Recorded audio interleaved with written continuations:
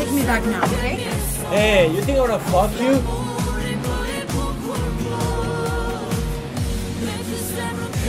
don't know where she is. Like, how long are you? Exactly. So I Shut the the fuck up. Give me a smoke.